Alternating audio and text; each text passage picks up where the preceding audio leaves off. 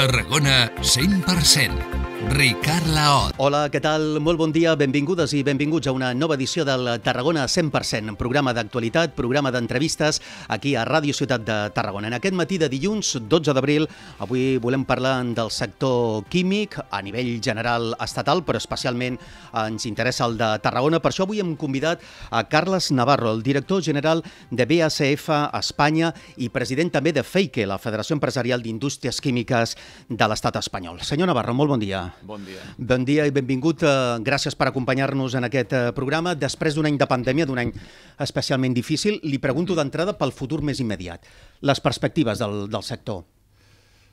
Eh, les perspectives són molt més positives que les que veiem l'any passat. Hem passat un any duríssim, l'any 2020 ha estat un any eh, de reptes eh, impressionants per la població en general, però també per la indústria química, que hem superat amb, amb bastanta solvència, hem mantingut l'activitat, hem pogut eh, seguir doncs, col·laborant amb, amb les cadenes de valor que subministrem i amb, la, amb combatre la pandèmia, i de cara a 2020, eh, 2021 tenim eh, perspectives de creixement eh, que s'han vist confirmades en aquest primer trimestre, on l'activitat s'ha recuperat de forma bastant eh, notable. És a dir, les dades del primer trimestre del 2021 ja són prou positives? Són positives. No tenim encara dades estadístiques finals, però la sensació que tenim quan parlem amb els nostres eh, associats a FEICE i amb, i amb companys de la indústria és que l'activitat eh, doncs, eh, s'ha eh, recuperat i, i ara mateix doncs, eh, estem veient problemes puntuals en llocs com per exemple l'automoció que segueixen patint per exemple la manca de semiconductors però pel que fa a la demanda doncs, hi ha una recuperació clara. Uh -huh. I a nivell de BASF també? També, també hem tingut un primer trimestre positiu eh, estem patint, doncs, com tots, la manca de matèria prima és una cosa que, que està succeint ara mateix en la indústria química, està afectant a tots, eh, que és producte doncs, del fet que hem estat eh, uns mesos amb l'activitat més deprimida i ara de cop hi ha un increment de la demanda i estem tenint problemes per subministrar a tots els clients. Mm -hmm. Els resultats, per exemple, de BASF a nivell del 2020 van anar, van anar a la baixa, clarament? Sí, sí, sí. Evidentment, eh, les vendes es van, eh, es, es van reduir, eh, vam tenir una xifra de vendes a, Espanya de 1.078 milions d'euros, que suposa un 15% menys que l'any 2019 un 15% que s'explica per un 11% de decreixement dels volums i un 4% dels preus. Això eh, parla ben, ben clar de que eh, alguns segments eh, demandants com l'automoció doncs, van patir moltíssim. Mm -hmm. Per entendre'ns, eh, de manera planera, aquest 15% que baixa el 2020 respecte al 2019, quan creuen que podran recuperar-lo? Aquest mateix any o necessitaran més temps? Eh, nosaltres, eh, a BSF, eh, hem començat l'any amb eh, xifres de creixement que estan a l'entorn d'aquest decreixement que vam tenir. És a dir, que podria ser que aquest any tornéssim a recuperar ja a la xifra del 2019, però encara és aviat per dir-ho, la veritat. Eh? Les perspectives que tenim són positives, però hi ha molts factors que intervenen. Intervé, doncs, eh, eh, com de ràpid podrem recuperar la situació de normalitat eh, anterior a la pandèmia, i això dependrà de les vacunacions. Però diguem que, que les, el començament ens fa ser optimistes. Mm -hmm. Doncs parlant d'optimisme i d'aquest futur més immediat, vostès també, com a BASF, han anunciat inversions per aquest 2021, mm -hmm. 60 milions d'euros en números rodons, la meitat dels quals es queden aquí a Tarragona. Sí.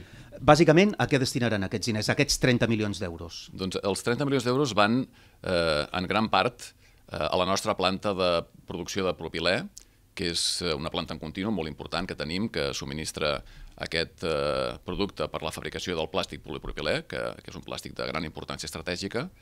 Eh, hi ha una, una ampliació de capacitat, a la qual hi haurà també doncs, 12 milions d'euros, i la resta són inversions eh, més distribuïdes que sempre fem per eh, tasques de manteniment i tasques de millora de la seguretat, eh, que, que, que doncs, apareixen de forma recurrent tots els anys. Mm -hmm. Més enllà de la xifra, eh, què significa aquesta aposta per invertir eh, 30 milions d'euros a Tarragona eh, en el 2021, després d'un any tan difícil, com dèiem, no, eh, a causa de la pandèmia? Doncs eh, és un compromís amb el territori. Eh, de fet, nosaltres hem anunciat per aquest any 2021 aquesta xifra de 60 milions, eh, que és la més alta que hem eh, eh, planificat en els últims anys. Eh, I això després d'un any, eh, com deia, de, de grans eh, problemes deguts a la pandèmia. Per tant, crec que és, està ben clar que nosaltres apostem per la inversió, apostem pel territori, per Tarragona, per seguir presents, per seguir millorant les nostres instal·lacions i per seguir preparant-nos per aquest futur que tenim per davant. Això vol dir, senyor Navarro, bàsicament, que el site de Tarragona doncs, té garantit el futur a mig i llarg termini? Home, jo sóc molt optimista de que tenim un futur brillant per davant. tenim eh, totes les condicions eh, necessàries per seguir atraient inversions. Eh, és veritat que competim d'una forma molt intensa amb els altres eh, centres de producció de BSF a Europa, però també és veritat que tenim unes, unes avantatges fantàstiques, eh, entre les quals eh, doncs, comptarem eh, en un parell d'anys també amb aquesta terminal intermodal al Port de Tarragona que ens posarà doncs, en situació de poder eh, ser encara més eficients en la importació i exportació de matèria eh, prima i de producte acabat. Mm -hmm. Parlarem de, de ferrocarril, parlarem d'aquesta terminal, d'aquesta terminal intermodal. Eh, parla d'un futur brillant. Mm, vol dir que en el, a mig termini eh, poden haver-hi noves inversions, que es poden fer coses noves al site de BASF a Tarragona? Evidentment, nosaltres eh, som optimistes. Hi ha eh, projectes d'inversió que estan en estudi, que encara és massa aviat per, per acabar de, de, doncs, de desvetllar-los, però el nost els nostres equips treballen de forma incansable per eh, poder atreure aquestes inversions. Eh, som optimistes eh, per poder doncs, eh, portar nous productes que donin eh, doncs, ocupació de capacitat a les plantes actuals, tot i que si em pregunta per, les, eh, per la possibilitat de fer noves plantes, això és sempre una mica més complicat. També el nostre site a Tarragona és un site que està eh, preparat per rebre inversions de terceres empreses. Eh, I, per tant, eh, és, és una àrea en la que també fem esforços per eh, poder acollir empreses que puguin gaudir del, de les avantatges d'estar de, en, un, en un complex químic com el que nosaltres tenim. Hi haurà noves empreses, doncs, en el futur, al, eh, als terrenys de BASF? També li dic, estem, estem treballant en aquestes possibilitats. Eh, no, no fa de bon dir fins que això doncs, està eh, confirmat oficialment, però, però sí, estem treballant en, en diverses línies d'actuació i som optimistes respecte que puguem doncs, eh, atreure aquestes inversions en diu, els propers anys. Diu que no hi haurà noves plantes segurament, perquè en fi, el context és, és molt difícil, però és... aleshores entenc de les seves paraules que el que estan és buscant eh, productes de valor afegit, és a dir, anar transformant sí. i anar adaptant la indústria a les necessitats del segle XXI. Sí, nosaltres eh, som més competitius en els productes que estan més, més avall de la cadena de valor. Productes d'alt valor afegit on el cost de l'electricitat, de, del, del transport, no és tan decisiu. Per exemple, fabriquem eh, al nostre eh, centre de producció de Tarragona eh, un fungicida que s'exporta a 80 països del món. Són produccions de, de poca quantitat, però d'elevat preu, i això fa que el fet de produir-los aquí doncs, eh, no sigui un, un desavantatge important eh, respecte a les fàbriques que, que, que hi ha al centre d'Europa. Mm -hmm. A mig termini, doncs, la plantilla de BASF a Tarragona es pot mantenir estable o fins i tot es pot incrementar en determinades àrees? Sí, sí, sí. Nosaltres tenim una plantilla eh, estable. Sempre hi ha eh, doncs, eh, situacions en les que cal tocar aquí i allà, però com a línia general, eh, la, la línia és de creixement. Mm -hmm. En clau de futur també, el centre productiu, el centre de producció de Tarragona, de la Canonja, de fet, del terme municipal de la Canonja, serà el primer de l'estat espanyol del sector no amb tecnologia 5G. Efectivament. Aquest anunci que queda molt bé com a titular, sí, sí. expliqui'm en la pràctica què vol dir. Aviam, això és un, eh, és un moment d'aquests que marca un abans i un després. La indústria química s'ha basat en procediments eh, digitals, eh, que, que, que han permès doncs, eh, desenvolupar els, els processos que tenim d'una forma molt, molt eficient, però és que el 5G ens posa en una altra dimensió. Ens permet sensoritzar, és a dir, posar sensors en totes les parts importants de la fàbrica i estar eh, contínuament monitoritzant què passa en el nostre procés productiu, eh, d'una forma que fins ara no ha sigut possible. Per tant, podem accedir a tecnologies com intel·ligència artificial, com eh, Big Data, com eh, eh, aprenentatge eh, de màquina, que eh, permetran millorar l'eficiència eh, i la seguretat dels processos d'una forma com fins ara no s'havia imaginat. Mm -hmm. I això com, com i quan eh, es començarà a aplicar? Suposo que serà un procés progressiu. Sí, sí, sí, és així. Eh, de moment, eh, amb el nostre partner Celnex tenim ja les, les eh, antenes eh, instal·lades i estem en la fase de preparació dels, dels casos d'ús que es diuen, és a dir, aplicacions concretes eh, per a aquesta tecnologia 5G, eh, que seran doncs, eh, desenvolupats en els propers mesos. Mesos, és a dir, això és sí. una operació de mesos, no d'anys? Sí, sí, jo, esperem que durant aquest any 2021 puguem tenir algun exemple d'aplicació concreta d'aquesta tecnologia. Mm -hmm. Seguim parlant de futur, vostè ja citava abans el tema de la terminal intermodal de la, de la Boella amb, amb el port, amb aquesta operació conjunta en què BASF participa a través eh, de Combi Terminal Catalunya, no? que és una empresa, perquè ens entengui la gent, on hi ha diferents empreses, entre sí, les sí. quals la principal és BASF. Eh, per què aquesta aposta tan clara pel ferrocarril i amb quin calendari treballen? L'aposta és, eh, és clara, és, és evident, perquè el ferrocarril aporta moltíssims avantatges. eh, és un mitjà de transport eh, més eh, eficient, més eh, eh, favorable pel medi ambient i és més segur. Eh, pensem que en quant a emissions de CO2, segons els càlculs d'aquest projecte, eh, el ferrocarril eh, emet 45 grams de, de CO2 per tonelada i quilòmetre, mentre que el camió emet 800 grams. Per tant, eh, la diferència és enorme. Eh, això fa que per la indústria química, que depèn de la competitivitat amb logística, el ferrocarril sigui una, una opció eh, totalment eh, recomanable. De fet, la, els polígons químics de, del centre d'Europa ja fan servir la intermodalitat. En el moment que la puguem fer servir nosaltres aquí, estarem en un pla d'igualtat de, de, de condicions amb les altres empreses amb les que competim mm. al centre d'Europa. Perquè amb quines previsions treballen d'augmentar el tràfic de mercaderies per, uh, per ferrocarril? Doncs si no recordo malament, estem parlant ara mateix de 8 trens diaris, que són 16 anades i vingudes, eh, i 120.000 eh, contenidors a l'any, que això multiplicaria per 6 el volum actual de contenidors, i això és només el començament. Mm -hmm. Clar, l'operatiu o l'operació eh, afavoreix BASF, però de fet afavoreix a, a tot, tot el territori. A, a tot el territori, tot és a dir, territori. no és només una operació de l'empresa que vostè representa, sinó en general de tot el polígon. Tenim vuit eh, partners eh, junt amb nosaltres i tenim el port, que el port és una infraestructura essencial pel futur de Tarragona i que ens posa doncs, en la millor situació d'aprofitar les sinergies que es deriven de la seva capacitat d'operar eh, d'una forma eh, molt eficient en, en, en, el, en el camp logístic. Mm -hmm. Bus, eh, aquesta operació, senyor Navarro, ha arribat després de descartar com a BASF la terminal que mm, havíem sí. previst fer en els seus propis eh, terrenys. Eh, suposo que en bona part pel retard no, en les obres del, del tercer fil.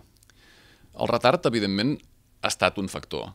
Eh, ara pensem que el 2023 tindrem aquest tercer fil que ja connectarà amb Ample Internacional Tarragona amb Europa. Però eh, el motiu de canviar la ubicació ha estat eh, la col·laboració amb el port.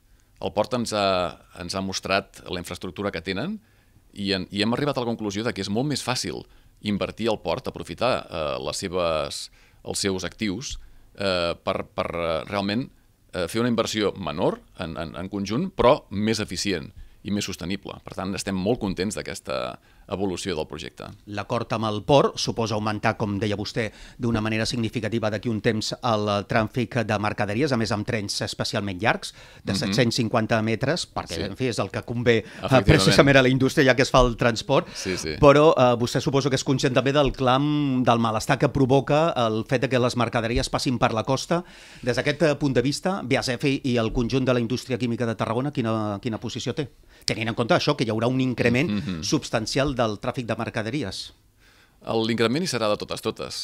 Els volums eh, de producció eh, i l'economia seguiran creixent. Per tant, jo crec que si hem de eh, conviure amb aquest increment de, de, del transport, és millor que sigui a través del, del ferrocarril, que és, com deia al, al començament, el mitjà més segur i més eficient i més sostenible. Però creu vostè que la indústria química o la indústria química ha d'estar també pensant o afavorint que hi hagi una alternativa perquè el tràfic de mercaderies vagi per una altra plataforma que no sigui la, la línia actual de la costa? Això costa de dir perquè estem parlant d'alternatives que segurament, eh, si es decideixen, trigaran molts anys a, a poder-se fer realitat. Eh, evidentment, tot el que sigui eh, transportar productes per vies eh, que no atravessin eh, doncs, eh, centres molt poblats sempre serà millor, però d'una forma, diguem, conceptual. Eh, ara se'n fa difícil valorar aquesta possibilitat, la veritat.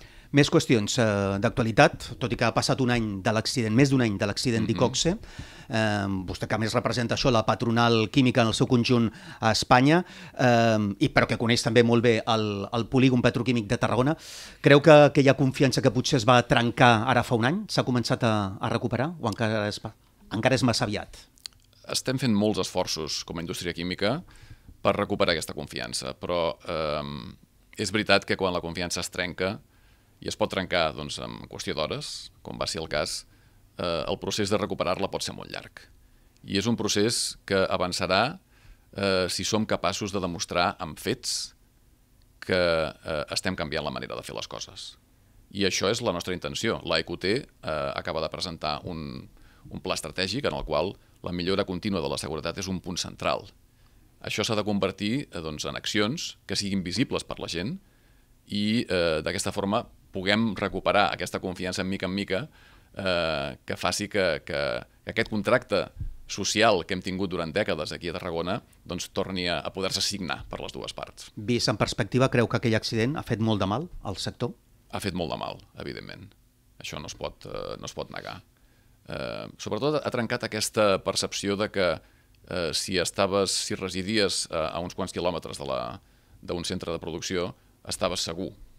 Això hem vist que no, no és del tot veritat. Eh? Ja sabem que el que va passar és un, un accident del tot excepcional, que possiblement no es repetirà eh, mai més, o, o almenys no d'una forma eh, similar, eh, però hem, hem assistit al, al, al fet de que això és possible i, per tant, eh, això fa que replantegem moltes de les nostres eh, idees i pràctiques per, per eh, al final fer més segura la indústria, que és el que tots volem. Diu que s'ha de treballar, que s'han de, posar, de posar fets, no? Eh, i, que, eh, I que a partir del, del pla estratègic de la, de la QT mm -hmm. això pot anar, però creu que mm, es trigarà temps precisament en tornar a cosir d'alguna manera aquesta relació amb l'entorn, amb la qual precisament les indústries, com la que vostè representa, doncs sempre han mantingut un compromís eh, clar, especialment els darrers anys? Eh, com deia, el recuperar la confiança és, és difícil.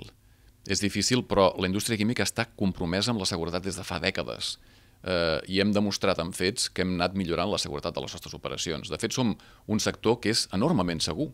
De fet, tenim unes estadístiques de seguretat amb incidents eh, i accidents que són les més baixes del sector industrial. Això sempre ha estat així. Eh, que podem millorar? És evident. Totes les activitats humanes poden millorar. Eh, el que hem de fer potser també és explicar-nos millor, fer partícips el, el, els, els actors de la comunitat dels esforços que estem fent i deixar-los entrar a casa nostra perquè vegin el que estem fent.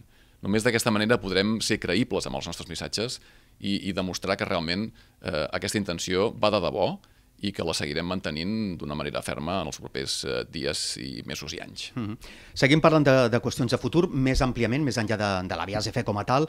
Tenim un projecte al territori, el projecte de l'hidrogen verd. Jo crec que la gent, eh, en fi, mm -hmm, sí. ha, ha sentit a parlar molt sí. a les darreres setmanes i els darrers mesos del sí. projecte de la Vall de l'Hidrogen Verd Catalunya Sud, on hi ha implicada la universitat, on hi ha implicada les empreses. Sí. Eh, vostè, que més és president de la patronal, de FEIKE, eh, mm -hmm. i que té segurament aquesta perspectiva general espanyola, eh, creu que és un projecte potent, amb moltes possibilitats de rebre eh, fons europeus?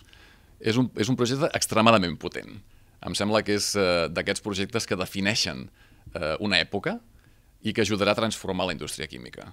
Eh, la, de, la del Camp de Tarragona i la d'altres parts on es fa química a l'estat espanyol i a Europa. Eh, dit això, cal molta coordinació, cal eh, esforços, eh, cal tecnologia nova i cal inversió eh, però l'oportunitat que tenim és històrica. Eh, I arriba en un moment en el que eh, una part del Camp de Tarragona mm, té la necessitat de reconvertir-se, d'adoptar tecnologies noves, de fer front a maneres de reconduir la química cap a, cap a maneres, eh, cap a processos més eh, favorables amb el medi ambient. I l'hidrogen té un paper eh, essencial en aquesta transformació. I rebrem diners, creu vostè? Jo crec que els, els projectes eh, que s'estan posant en marxa tenen tots els ingredients per rebre aquests diners, però les decisions es prenen a nivell europeu, a nivell estat espanyol, eh, i per tant doncs, caldrà ser prudents. Però eh, si, eh, si parlem de, de si complim les condicions, crec que aquest, aquest projecte les compleix totes i cadascuna. I vostès, com a FEICA, són interlocutors del govern espanyol en aquest tema en general, eh? no parlo només d'aquest projecte, sinó en projectes que aspiren a això a fons europeus? Eh, nosaltres som interlocutors del, del govern espanyol en molts temes. Eh, en el tema aquest de l'hidrogen és, és difícil de, de, de concretar, perquè al final eh, són projectes que, que lideren empreses, eh, institucions. Nosaltres com a FEICE realment no tenim un paper concret eh, a, a realitzar en aquest projecte, però evidentment eh, informem el, el, el govern de les possibilitats i de les condicions que ells haurien de crear perquè aquests projectes tirin endavant. Doncs ja que parlem de les relacions amb el govern de l'Estat, com estan les converses per acabar de concretar tot el tema del preu de l'energia? Segur que també les persones que ens estan escoltant recorden que aquesta és una de les qüestions que el sector sí. planteja des de fa temps per millorar la competitivitat del polígon petroquímic. Es va aprovar un decret en el seu moment, però sí. tot això després, si no m'equivoco, no s'ha desenvolupat. Com estan les relacions sí. o, o, en fi, què saben del, del tema? Sí, efectivament aquest decret que donava eh, doncs, autorització a les xarxes de distribució elèctrica tancades és de desembre del 2018. eh, hi va haver un compromís inicial de desenvolupar un reglament en sis mesos. Han passat ja més de dos anys i aquest reglament no, no ha arribat. A finals de l'any passat, la ministra Rivera es va comprometre en públic eh, a tenir aquest reglament eh, durant el mes de novembre. Hem vist que també aquest, eh, aquest plaç doncs, s'ha superat. Ara mateix eh, hi ha converses accelerades que ens fan pensar que aquest reglament no trigarà gaire, però eh, evidentment hi ha hagut molts incompliments, per tant, són prudents. Eh, quan arribi aquest reglament serà una eina eh, molt, molt eh, benvinguda, perquè donarà carta de naturalesa a una situació que ja tenim des de fa dècades aquí al polígon de Tarragona. Donarà seguretat jurídica i permetrà, sobretot, ser molt més, molt més competitius, perquè el que permetrà és atreure noves inversions. Eh? El fet de que les empreses puguem operar amb xarxes tancades ens posa en la millor condició d'atreure noves eh, eh, plantes i noves empreses que puguin eh, beneficiar-se d'aquestes xarxes tancades. I aquest salt endavant es produiria un cop realment ja estigui eh, aprovat el reglament? Cal veure els, els termes del reglament. Evidentment, hi ha un, una part del reglament que fa referència a les noves inversions i hi ha una part del reglament que fa referència a les situacions sobrevingudes eh, si, en tant en quant aquest reglament pugui posar claredat sobre la situació de les xarxes sobrevingudes, serà positiu.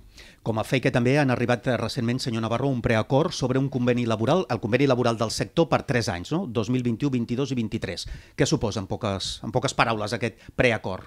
Suposa eh, un avenç eh, eh, fonamental per, per nosaltres, que va en la línia del que ha estat sempre el conveni de la indústria química. És un conveni molt, molt progressiu, molt, eh, molt avançat, que és considerat com a referència dins del sector industrial, eh, perquè sempre ha sigut capaç d'introduir nous elements de competitivitat per les dues bandes i nosaltres ens dona estabilitat com a, com a indústria química i els, els, els empleats que estem a la indústria química ens dona també unes condicions per aquest any i pels propers que són eh, francament favorables. Mm -hmm. I ja per anar acabant l'entrevista, de temes més genèrics o més globals, que en fi ens afecten a tots, ens afecten a Tarragona i afecta a tot el planeta, situacions o, o qüestions relacionades amb l'emergència amb l'emergència climàtica. Hi ha uns objectius d'emergència climàtica amb vistes al 2050, no? Es parla del, de neutralitat eh, climàtica, sí. com a BASF, quin és el full de ruta que tenen marcat en aquest àmbit? Sí, nosaltres hem anunciat fa tot just 15 dies nous objectius d'ambició climàtica.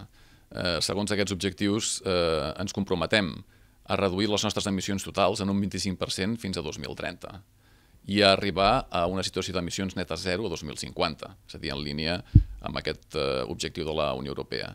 Això és un esforç eh, impressionant, perquè eh, nosaltres d'aquí a 2030 volem seguir creixent en volums i a més a més hi ha inversions eh, molt grans a Xina, hi ha tot un centre de producció que està emergint des, de, des del nord-res al sud de Xina amb una inversió de 10.000 milions d'euros que posaran en, en el mercat volums addicionals molt importants. I tot això ho hem de compensar.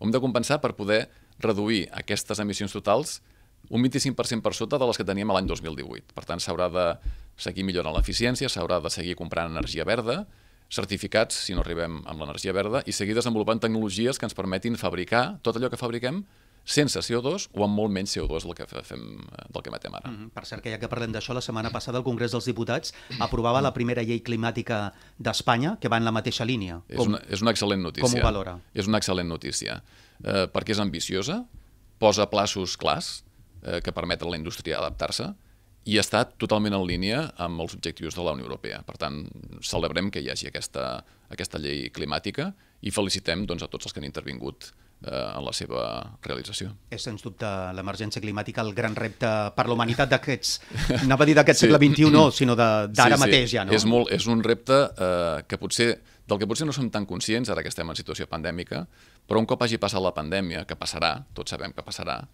eh, doncs ens, ens eh, enfrontarà potser el repte més gran que la humanitat ha, ha, vist mai en la seva història. Tenim molt pocs anys per redreçar la situació.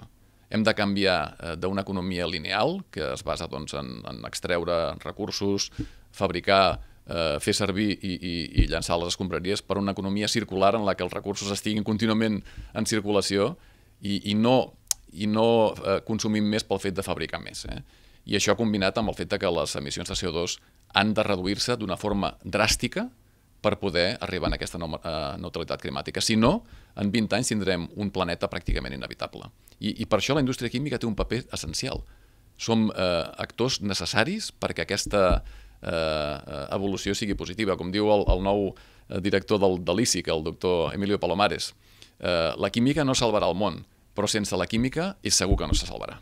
Doncs amb aquest eh, missatge, en clau de futur global, de planeta, acabem aquesta conversa, aquesta entrevista amb Carles Navarro, el director general de BASF a Espanya i president també de la patronal FEIC, la Federació Empresarial d'Indústries Químiques de l'Estat espanyol. Senyor Navarro, moltes gràcies per acceptar la nostra invitació i que vagi molt bé. Fins la propera. Gràcies a vosaltres, igualment. Carles Navarro, avui el convidat d'aquest eh, Tarragona 100% aquí a la sintonia de Ràdio Ciutat de Tarragona.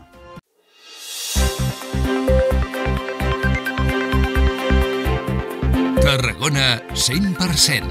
Ricard Laoz.